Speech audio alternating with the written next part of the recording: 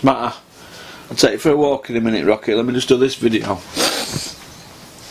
Right, let's go on to the show from last night that I watched. The Frank Warren show, Old Fish Eyes Frank, Return of the Fish. O2 Arena, Greenwich, London. First of all, I noted that it looked empty. There didn't look like there was anybody there. But the fights on there were good, but as I've just pointed out to you in my previous video, the Jeddah show that everybody keeps digging out, right? All you casuals who keep saying, it was a crap show, Billy Dib's crap and Samuel Peters passed his sell-by date. That might have been true. But not one fight on that show, not one fighter out of 20 fighters had a losing record. Now look at this here. One, two, three, four, five, six. Well, that's not bad then. 1, 2, 3, 4, 5, 6, 7, 8, 9, 10, 11, 12. Out of, thir out of 13 fights, Frank Warren, out of 26 guys on the show,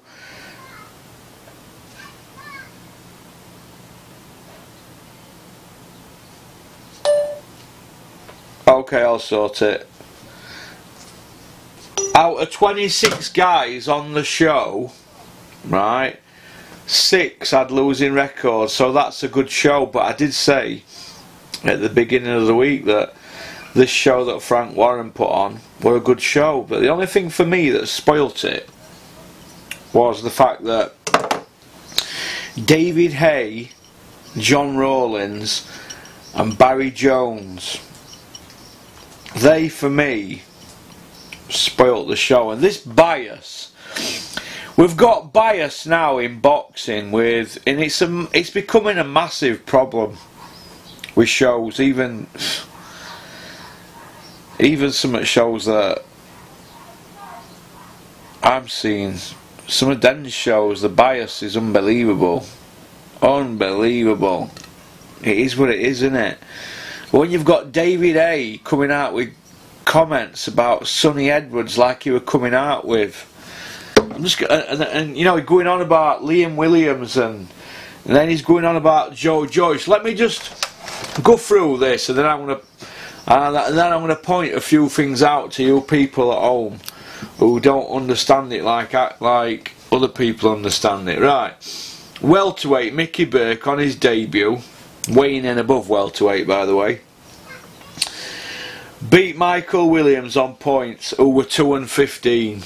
Lightweight Mark Chamberlain, who were a pound and a quarter over lightweight, 2 and 0. He won on points against Sergio Gonzalez, who were 10, 16 and 5. Super featherweight Jake Pettitt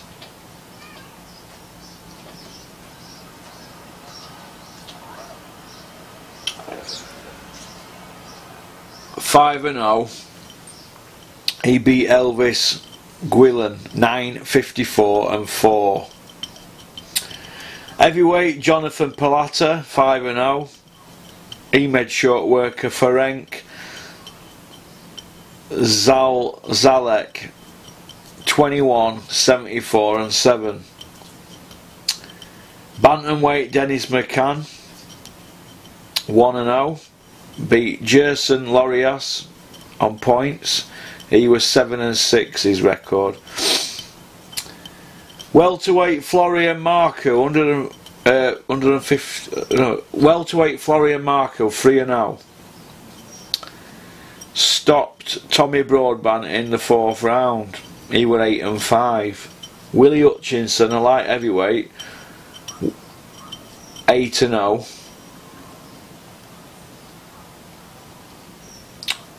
beat jo Josip Perkovic 5 9 and 1 I want to see Willie Hutchinson fight somebody with a winning record because he's only beat one guy with a winning record out of his 10 fights. So, Willie Hutchinson, let's see you fight somebody who can fucking hit back. Right? Middleweight, Hamzah Sheeraz, 8 and 0. Made short work of Scott James in round one, who were 4 5 and 1. See, that's a losing record.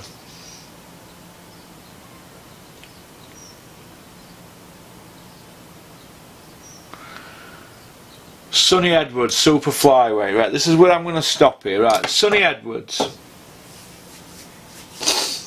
Sunny Edwards, right, sparred Tommy Frank twice, Dennis's fighter.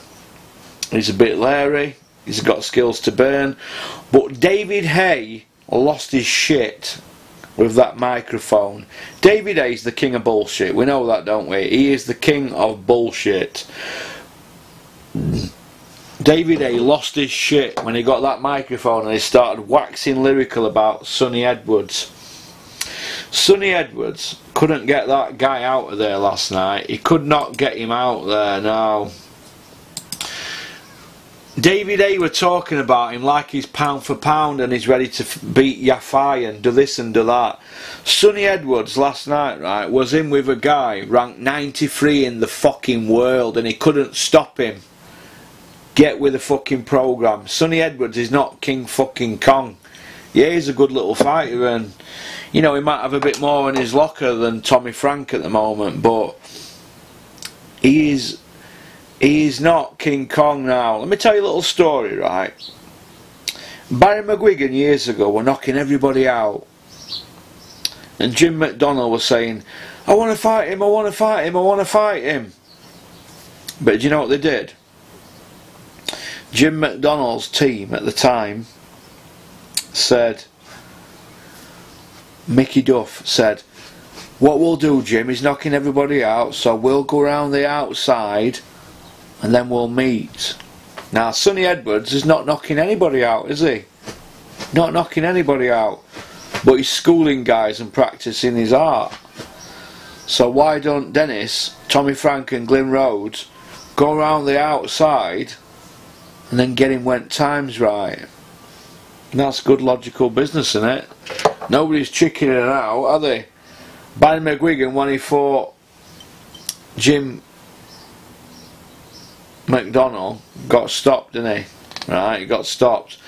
Yeah, Barry McGuigan would have won at his peak, but the timing wasn't right then, was it? And I don't think the timing's right for Tommy Frank now. But yeah, I've got people saying, oh, why won't Dennis make the fight like Ozzie Smith? People like that. Probably because they want to they want to build the fight up, and maybe who knows? Tommy's what is he two and a half year older than Sunny? Maybe Tommy's not as schooled fighter as Sunny Edwards. Who knows? But is Sunny Edwards going to sell a ticket? No, he doesn't sell a ticket, does he? Tommy sells all tickets if they do fight.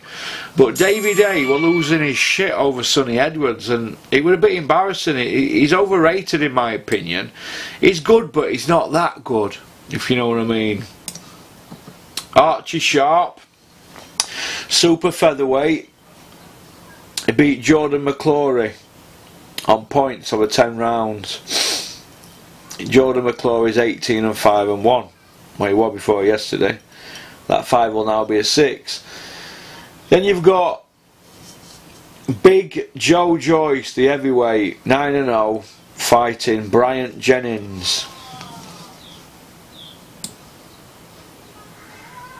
Now that went that's that went 12 rounds. Now, as far as I'm concerned, the referee was shocking, Steve Gray, but everybody knows Steve Gray's a Warren man, don't they? People say Terry O'Connor's a Warren man. Yeah, he is. But Steve Gray is the biggest Warren man in boxing. You know, in boxing, certain referees have certain labels, don't they? You know, about which promoter they, they get on with. Steve Gray is a Frank Warren man. He has been all his life from day one. So, but I had Joe Joyce winning the fight, but I thought he was closer. I thought Joe should have had a point took off at some point, not Bryant Jennings. I thought that point took off for harsh, but that point, it it it gave him a cushion, didn't it? If if the if it were close, Do you know what I mean? Because the referee must have thought it were close to take that point off. Now, Joe Joyce had £30 on Jennings and about 5 inch in height. £30. It was like an heavyweight just coming forward and just throwing bombs, but I thought David Haye were losing his shit over it because Joe Joyce, in my opinion, got exposed. Joe Joyce got exposed. That brings me to Liam Williams, middleweight. David Haye lost his shit over him as well, didn't he? David Haye loses his shit over over guys because he's there. He's paid by BT Sport to keep his face on the TV and get his son out there because without a camera, what has David Haye got going for himself without a camera? He's got fuck all else going for him, has he? What? Who was he promoting? He's managing Derek Chisora and that's it. So he's up Eddie Hearn's arse and he's now up Frank Warren's arse. David Haye is a whore. He's a, he's in both camps. He's in Sky's camp and BT camp. Could you imagine being having David Haye as your co-accused? You'd be in dock, wouldn't you? And David Haye would be giving evidence against you, wouldn't he? He'd want to be on both sides of the fence, wouldn't he? David Haye is a fucking whore, let me tell you, a whore. Don't like him. Gone off him. Good fight though, but he is a whore. Now, as far as I'm concerned, Liam Williams Right, now everybody in the everybody on the home side of the fights, right? Thirteen home fighters were all undefeated except Liam Williams, but Liam Williams made short work of this guy, Karamanko.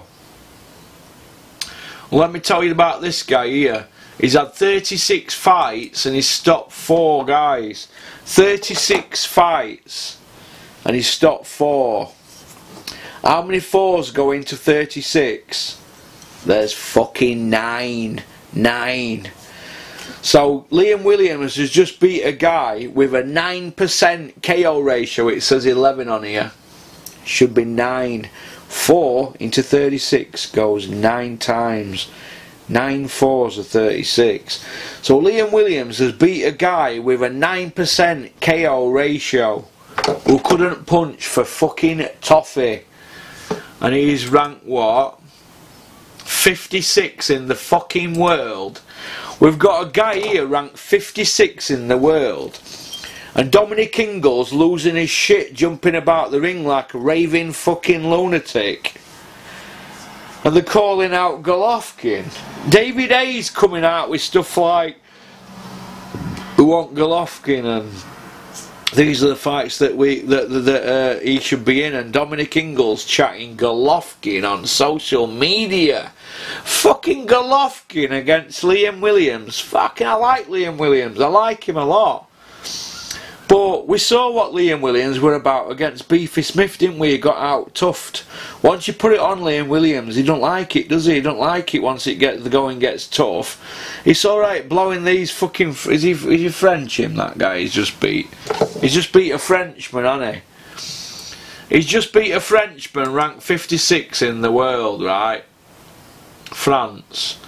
He beats a guy ranked 56 in the world and people are losing the fucking shit over him. People are losing the shit over him. So let me just point a few things out to you here, right? Let me just show you a few things. Right, this this is the top top 11 guys above Liam. Liam Williams is ranked number 12 on BoxRec, right? Would Liam Williams beat Rob Brandt? 50-55. Would he beat Martin Murray? I think he beat Martin Murray. He's on slide. He's ranked 10th. Would he beat Derevyanchenko? 50-50 fight. Would he beat Murata? 50-50. Would he beat Lemieux? No. Would he beat Andrade? No. Jeff Horn, Charlo, Jacobs, Golovkin, uh, uh, Alvarez? No. They don't. So Liam Williams, what Dominic Ingle's going to want to do with him is going to want to get him abroad because Liam Williams doesn't sell a ticket. He will be going abroad. If they're going to go the WBC route, they're going to be going abroad. They're going to get paid. Dominic Ingle's going to get paid. He'll get paid, Dominic Ingle. I can assure you about that. They'll get paid, but they'll be taking him abroad to lose. He will be going abroad to lose. Liam Williams should be staying at 154 and trying to get a world title. Forgetting this this middleweight stuff. He should be correcting that Beefy Smith first loss. He should have corrected it in the second fight. That's what he should be doing, correcting things like that. But he is a great fighter, but beating the 56 best guy in the world from France, who is called Karim what? He's just beat Karim Akor, right? Who's the second best guy in France? He's not even the fucking best guy in France. He's not even the best guy in France. He's the second best guy in France. How they got that pass for WBC silver, I fucking don't know, mate. I don't know. I don't know, but Liam chopped him down. He did what he had to do with him, so fair play, but this is how I look at it. I've studied Liam Williams' career and I think he's a fantastic fighter, very technical, very good, very quick, but he lacks that. He's got the heart of a breadcrumb. I saw it in Liam. I saw him unfold like an onion in the Beefy Smith fight. He had the fight won. His corner made a mistake and cost him the win in the first fight, but he had the fight won. They should have stopped that fight and gone to referees for that for the head clash, but they didn't, did they? That's how they got a rematch. That's how old Fisheyes played up a rematch, didn't he? So bad decision by his corner, but also he's got to take some responsibility in quitting. Now, once you quit, you quit. That's it. It's in you. Some boxers fight like cowards. Like Steffi Bull, he fights like a coward, doesn't he? Some boxers quit. Once you quit, it's always there. Oh, that's my opinion. What's the guy called now? Uh, the guy who was in the, the film. I forgot his name now. He were Victor Ortiz. How many times has he quit? Victor Ortiz. Once it's in you, it's in you. You'll see it with Anthony Joshua. It's in his makeup. There's nothing wrong with that because they're still getting in there. They're braver than us, aren't they? But once it's in your makeup to quit, you'll quit. So, but the talking Golovkin, Davy Day were losing his mind over Liam Williams' win losing his mind. He's beat the second best guy in France and the 56th best guy in the fucking world. They were jumping around like they'd won fucking Wimbledon. They like Bjorn Borg when he beat Nastase. So no, I ain't, I ain't, I ain't, I ain't having that. I ain't having it. I'm not having it at all. I'm not having it. So it is what it is, isn't it? I ain't, I, I ain't having it. I ain't having it. Which brings me to the main fight of the evening. Dubois 11 and 0 against Gorman 16 and 0. Uh, I thought the fight lived up to its billing. Uh, I've heard a story today that Gorman didn't have the better of him in the spars that they had, and he was a 17 year old kid at the time, Dubois, but he didn't have the better of him. But why Gorman was shouting off that he did have the better of him Dom, should have come back and said, no, you didn't, but he let him have it. That's called selling the fight, isn't it? When it come down to it, the guy with the short, with the the guy with the shorter arms than Floyd Mayweather, Nathan Gorman, he's got the shortest arms out of the top 50 heavyweights in the world. Should fight at cruiserweight, shouldn't he? Nathan Gorman, nice guy, but I don't think he's British level. A lot of people bought into this. He's technically good. He's a traveller. He's he can do this. He can do that. That don't mean shit. That don't mean shit, right? That doesn't mean shit that he's a traveller, and it don't mean shit when you're going up against a fucking beast of a man. That guy is a strong boy. That guy bullies Dave Allen in sparring, Daniel Dubois. We're talking three years ago. He were bullying Dave Allen, who is a bully in the ring big, strong man. Dave Allen couldn't budge him in clinchers. Joshua, Dave Allen can walk him because he's big and hollow, but Dubois, Big, big, strong man. Big brute of a man, brute force. And I think that he'll go all the way. He's the British champion now. Dave Allen's not won a British title, but he's talking about fighting Joshua in two fights. Gorman's not won a British title. So Dubois is in the mix now. He is in the mix and he will go the WBO route now. Probably be WBO European heavyweight belt. Something like that now. They'll go that route. They'll, not, they'll keep him away from Kabayel. Who in my opinion is bogeyman, isn't he? Nobody mentions Kabayel, do they?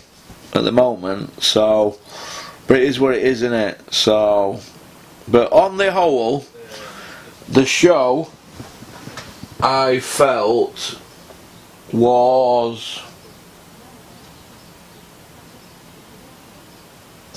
Get in, Rocky. Get in, Rocky. The show I felt was an eight and a half out of ten, and I thought the the Jeddah show, I thought that were a, were a six and a half. But but Frank Warren put a good show on last night. Nobody can knock that show, but only thing that spoils it, stops it getting a 10, there's the bias from every time Jennings, Bryant Jennings did any good work, the TV commentators they never they, they just watered it down into into Joyce. They turned it into a Joyce feast, you know, and it's like I said, they were, the commentators and the pundits were getting carried away with Liam Williams as win. He beat a guy 56 in Wales with a 9% KO ratio. Get a fucking grip. Do me a favour. Fucking, I couldn't believe what I was fucking seeing, man. I couldn't believe what I was seeing. Yeah, he did what he had to do, but let's see Liam Williams in a fight. I mean, for example, let's have a look at who Liam Williams his best win is 20, 21 and 2. We draw. Who is Liam Williams' best win? Mark Heffron. For vacant British title, you'd have to say Gary Corcoran. Uh, is that it? Ronnie Heffron. You could maybe say Ronnie Heffron. Ronnie Heffron were red hot at the time. Mark Heffron, Ronnie Heffron. I mean, he drew with Tyan Booth. Oh, that was because of head clashes, wasn't it? But far as I'm concerned, Liam Williams has beat who? His best wins, Mark Heffron, on paper. He got beat by Beefy Smith his best two wins are Gary Corcoran and Mark Heffron. That is it. But yet they're talking about Golovkin for Liam Williams. The statistics are here. Liam Williams BoxRec. Gary Corcoran 15 and 0. We beat him. That was his best win up to fighting Mark Heffron because he lost the Beefy Smith fights. So why are they talking Golovkin? because Dominic Ingle and Liam are going to get paid and Frank Warren they're going to put him on a plane and they're going to go pull a low load around for money and come back with an L that's what's going to happen so David Haye and all them commentators waxing lyrical with their bias and their tongues up fucking their arseholes at BT Sport need to give their fucking heads a shake. Liam Williams is a British stroke European level fighter. He's not in Golovkin's league. He will be going there to get a payday. He will not win a world title, but like I said, they lost the fucking shit, didn't they, last night over it.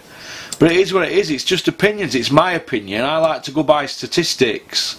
I'm a stat man, and that's how I base my life on numbers. And I've got a bit of a thing about numbers, haven't I?